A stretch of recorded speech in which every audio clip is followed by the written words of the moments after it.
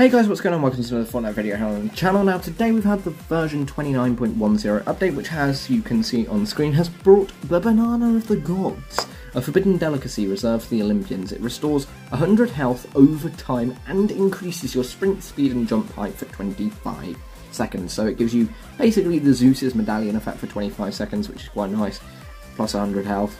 You can't really complain. Uh, They've also brought back the Deagle, also known as the hand cannon. Um, they're advertising in here uh, some other things, such as the Blazing Fire Cerberus from the um, quest rewards, saying that you need to complete 20 quests from weeks 0 through week 3. That's actually not out yet still, so you can't get that if you see that in the news tab. Um, in Lego Fortnite, they've brought out vehicles, so you can now actually drive things with an actual steering wheel, which is kind of useful. Um, so there's a lot to do with that.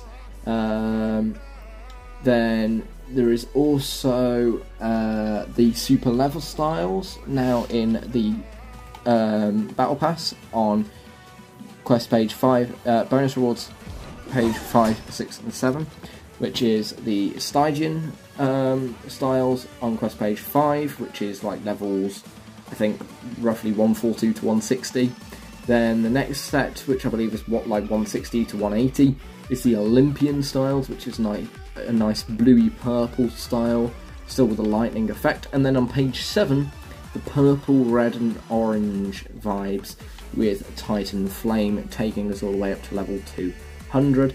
The Titan Flame Hades even has an extra style that actually is on fire, which is beautiful to see.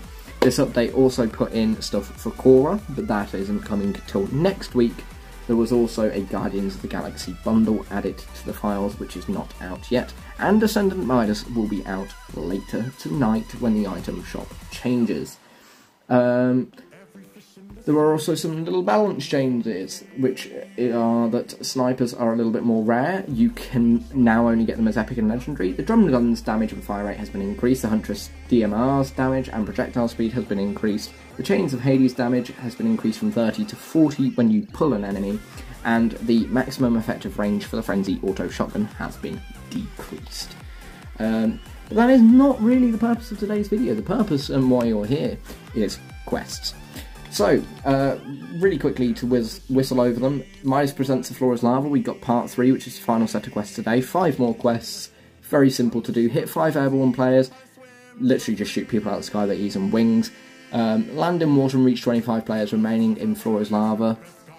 I would advise landing in one of the upper lakes by Classy Courts or Grand Glacier because then you're still high enough to be above the lava when it starts but also you've landed in water and reaching top 25 from there.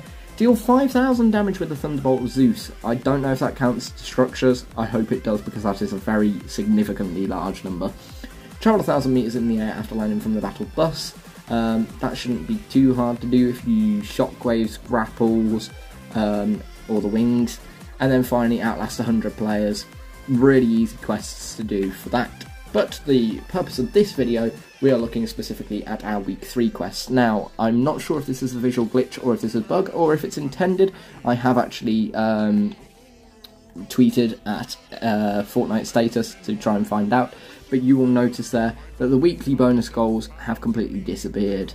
Hopefully we still get the XP from them because completing uh, quests to get some extra XP, 10,000 XP per quest is not great whereas the 25,000 we got from completing certain amounts of quests was pretty useful. The six this week are collect 10 shield potions, which is party assisted, which is nice and easy. All you gotta do as a team, just pick up 10 shield potions, really easy to do. Hit two headshots on players with the hand cannon, so by players, bear in mind, you can't do it on an NPC, you can't do it on guards, but headshots with the hand cannon shouldn't be too bad to do. Hit 10 different players with mythic weapons, kind of annoying one to do. Again, players as well, so no NPCs, no guards for that one. But there are a lot of mythic weapons in this season, and there will be a new one coming soon with uh, Korra's waterbending mythic, so that might be even easier. Um, then 150 damage to players while inside or brief, briefly after exiting a shield bubble junior. That's kind of an annoying quest to do. And it also doesn't clarify how briefly they mean, so that one might be a bit annoying. Eliminate 10 opponents in the Underworld at night or Mount Olympus during the day. I mean, depending on the time of day, just go to one or the other. Spawn in um, like some minions uh, with the gods. Nice and easy quest to do. And then finally, collect three Olympian powers, mythic weapons, or aspects of the gods in a single match. Not so much of an easy one, but shouldn't be too bad. Uh, by Olympian powers, bear in mind they mean the Chains of Hades, Zeus's Lightning Bolt, which is also a mythic, or the Wings of Icarus. So literally just picking up all three of those would count. The aspects of the gods are the four medallions, and the mythic weapons, there's four of those as well. Uh, plus, I'm not sure, I think there might be a fifth one actually, but there's enough on the island for you to be able to do that. So, without further ado, we're going to go into a game and we're going to get some done. So, here we are. And let's try and uh, save Ali, I guess.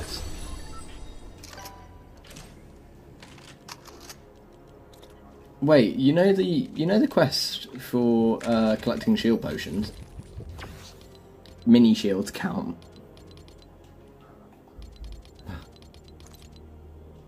No.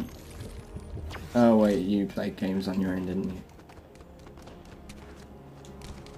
you? Uh, Ali, we will come and save you in a second, I promise. Mm-hmm.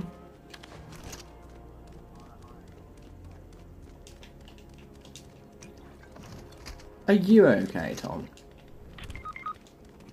You literally just...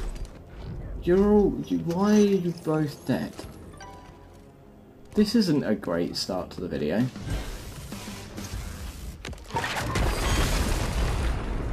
I can't even remember what else I'm trying to do. Oh, I can remember what I'm trying to do. He is too far away.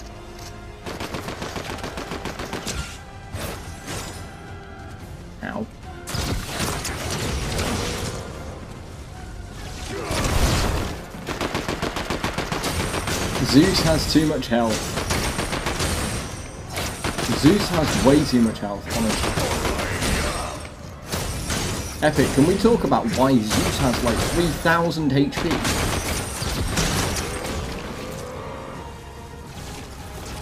I think Ares has the best mythic.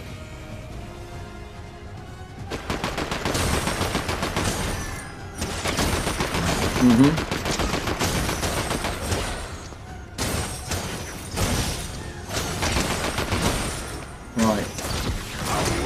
What I can do is now, he's spawned in minions, yeah?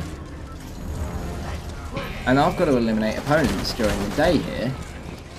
Now these count as opponents.